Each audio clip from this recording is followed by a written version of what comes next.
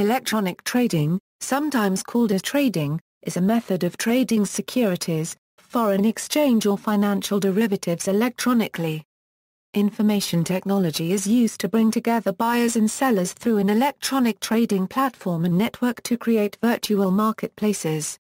They can include various exchange-based systems, such as Nasdaq, New York Stock Exchange Arca and Globex, as well as other types of trading platforms, such as electronic communication networks, alternative trading systems, crossing networks and dark pools.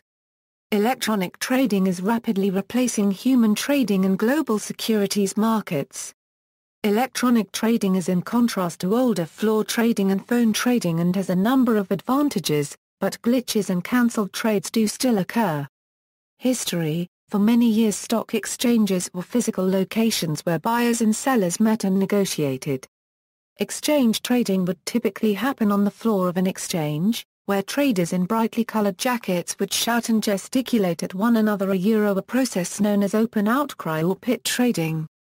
With the improvement in communications technology in the late 20th century, the need for a physical location became less important and traders started to transact from remote locations in what became known as electronic trading. Electronic trading made transactions easier to complete, monitor, clear, and settle and this helped spur on its development. One of the earliest examples of widespread electronic trading was on Globex, the CME Group a Euro unregistered trademark S electronic trading platform conceived in 1987 and launched fully in 1992. This allowed access to a variety of financial markets such as treasuries, foreign exchange and commodities.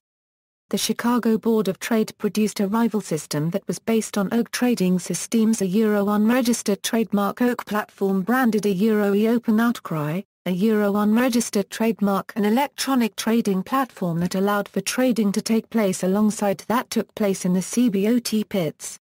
Set up in 1971, Nasdaq was the world's first electronic stock market, though it originally operated as an electronic bulletin board, rather than offering straight-through processing. By 2011 investment firms on both the buy-side and sell-side were increasing their spending on technology for electronic trading. With the result that many floor traders and brokers were removed from the trading process. Traders also increasingly started to rely on algorithms to analyze market conditions and then execute their orders automatically the move to electronic trading compared to floor trading continued to increase with many of the major exchanges around the world moving from floor trading to completely electronic trading. Trading in the financial markets can broadly be split into two groups, business-to-business -business trading, often conducted on exchanges, where large investment banks and brokers trade directly with one another, transacting large amounts of securities, and business-to-consumer trading, where retail and institutional clients buy and sell from brokers or dealers, who act as middlemen between the clients and the B2B markets. While the majority of retail trading in the United States happens over the Internet, retail trading volumes are dwarfed by institutional, interdealer and exchange trading. However, in developing economies, especially in Asia, retail trading constitutes a significant portion of overall trading volume. For instruments which are not exchange-traded, the interdealer market substitutes for the exchange. This is where dealers trade directly with one another or through interdealer brokers. This type of trading traditionally took place over the phone but brokers moved to offering electronic trading services instead.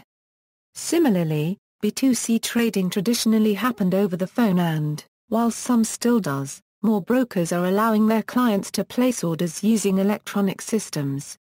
Many retail brokers went online during the late 1990s and most retail stockbroking probably takes place over the web now.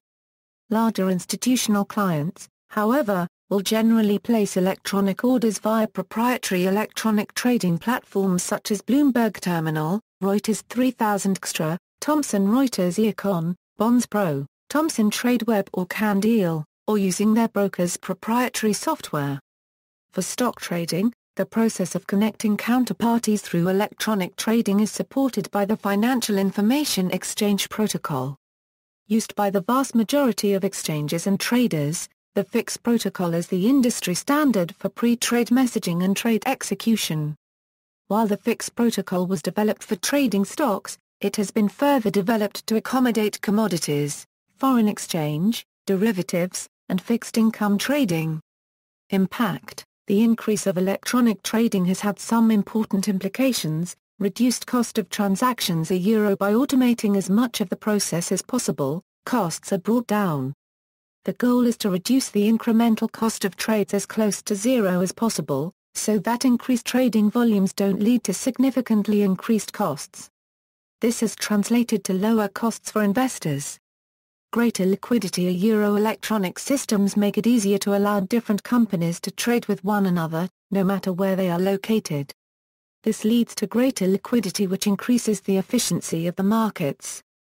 Greater competition a euro While electronic trading hasn't necessarily lowered the cost of entry to the financial services industry, it has removed barriers within the industry and had a globalization-style competition effect. For example, a trader can trade futures on Eurex, Globex or LIFFE at the click of a button a euro he or she doesn't need to go through a broker or pass orders to a trader on the exchange floor. Increased transparency a euro electronic trading has meant that the markets are less opaque. It's easier to find out the price of securities when that information is flowing around the world electronically. Tighter spreads a euro The spread on an instrument is the difference between the best buying and selling prices being quoted. It represents the profit being made by the market makers. The increased liquidity, competition and transparency means that spreads have tightened, especially for commoditized, exchange-traded instruments. For retail investors, financial services on the web offer great benefits. The primary benefit is the reduced cost of transactions for all concerned as well as the ease and the convenience. Web-driven financial transactions bypass traditional hurdles such as logistics. Technology and systems Electronic trading systems are typically proprietary software, running on COTS hardware and operating systems, often using common underlying protocols, such as TCP/IP. Exchanges typically develop their own systems, although sometimes an exchange will use another exchange's technology, and some newer electronic exchanges use third-party specialist software providers. Exchanges and ECNs generally offer two methods of accessing their systems a euro, an exchange-provided GUI, which the trader runs on his or her desktop and connects directly to the exchange ECN, and, an API which allows dealers to plug their own in-house systems directly into the exchange ECNs. From an infrastructure point of view, most exchanges will provide gateways, which sit on a company's network, acting in a manner similar to a proxy, connecting back to the exchange's central system. ECNs will generally forego the gateway proxy, and their GUI or the API will connect directly to a central system, across a leased line. Many brokers develop their own systems, although there are some third-party solutions providers specializing in this area. Like ECNs, brokers will often offer both a GUI and an API, and connectivity is typically direct to the broker's systems, rather than through a gateway. Investment banks and other dealers have far more complex technology requirements, as they have to interface with multiple exchanges, brokers and multi-dealer platforms, as well as their own pricing, P&L, trade processing and position-keeping systems. Some banks will develop their own electronic trading systems in-house, but this can be costly, especially when they need to connect to many exchanges, ECNs and brokers. There are a number of companies offering solutions in this area. Algorithmic trading. Some electronic trades are not planned or executed by human traders, but by complex algorithms. See also, e-commerce, electronic trading platform, electronic communication network, stock market data systems, straight-through processing, trading room, 2010 flash crash, e-trading in Pakistan. References External links